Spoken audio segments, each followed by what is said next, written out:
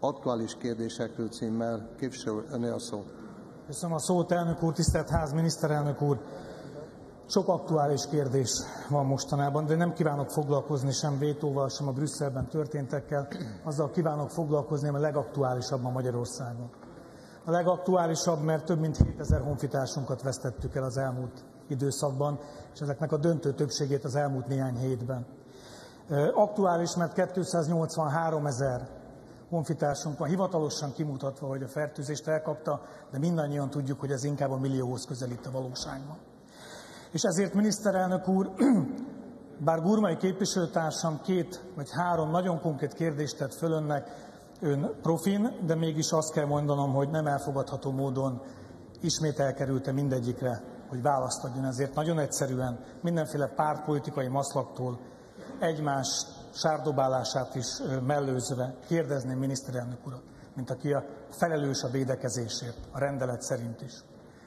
Miért nem hajlandóak megadni a százszázalékos táppénzt legalább a veszélyhelyzet 90 napjára azoknak az embereknek, akik igazoltan koronavírus fertőzöttek, vagy közvetlen kontaktok, hogy ne kelljen a táppénz miatt egyébként azt az utat választaniuk, hogy betegen járnak dolgozni, vagy csökken a fizetésük. Kettő, miniszterelnök úr, hajlandó lenne, ott van a 133 bátor ember önök körül, egy gomnyomásokba kerül.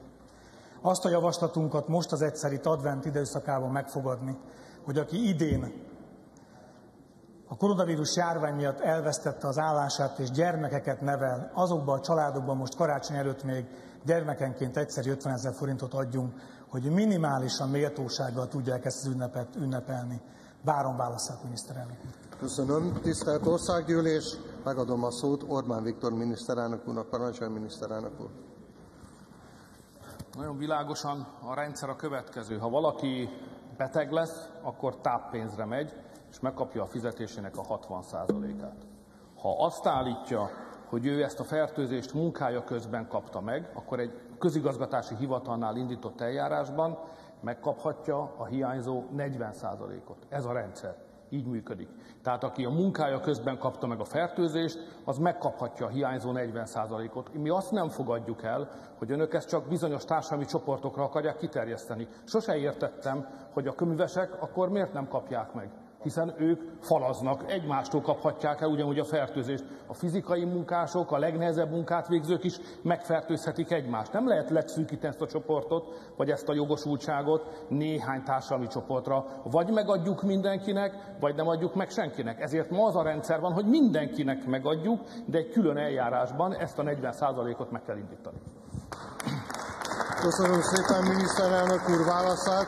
Viszont válaszra megadom a szót képviselőnek. Parancsoljon. Köszönöm a szót. Miniszterelnök úr, ijesztő volt a válasza, mert alapvető tényeken nincsen tisztában. Egy. Önök nem adják meg. A kormányhivatalok nem intézik. A pedagógusok szeptember óta se kapják meg. Kettő.